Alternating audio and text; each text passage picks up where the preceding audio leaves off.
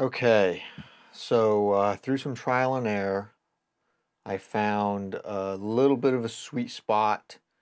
Um, really want to shoot with uh, f1.8 or f2 at the at the absolute bottom end.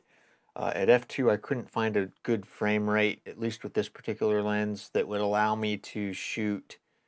Um,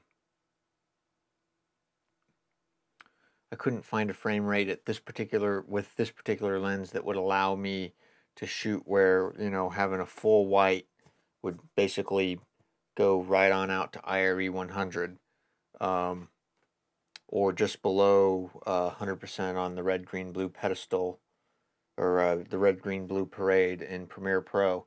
So uh, this is the closest I can get at uh, 1 25th of a second with these current lights at 1 25th of a second, f1.8, ISO 100.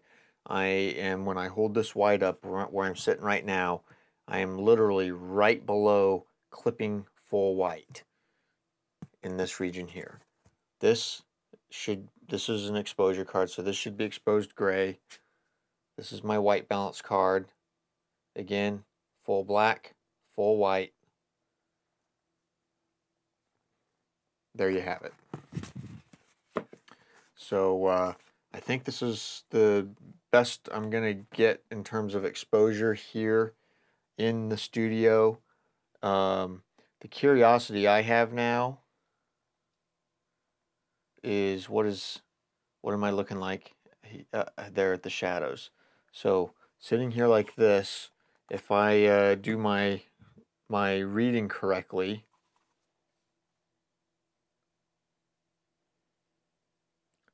the light hitting my face now should be, let me, let me hit the hold button here so I can look at it.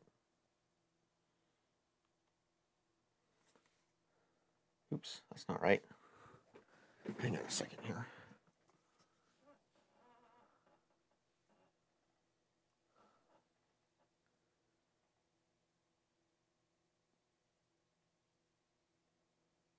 Nineteen hundred and thirty-five lux is the light hitting my face right now.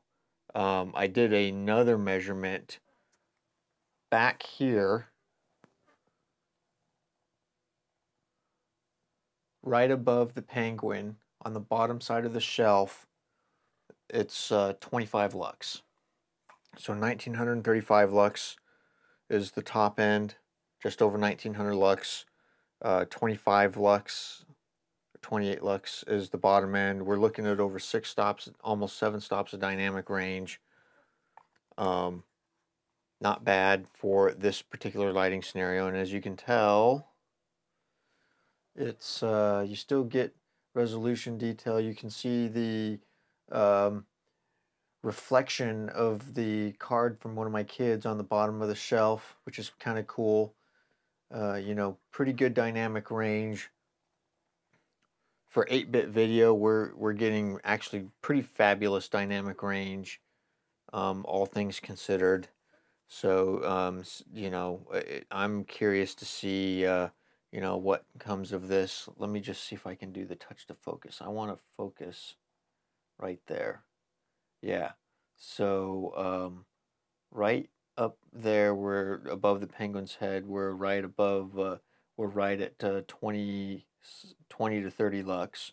And right here on my face, we're right at um, right at uh, 19, just over 1900 lux.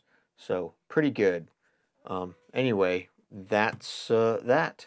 And um, I, I think this is going to be the setup uh, from here.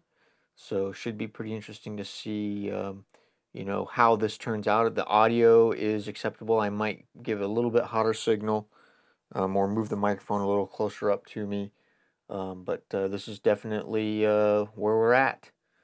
So should be pretty interesting.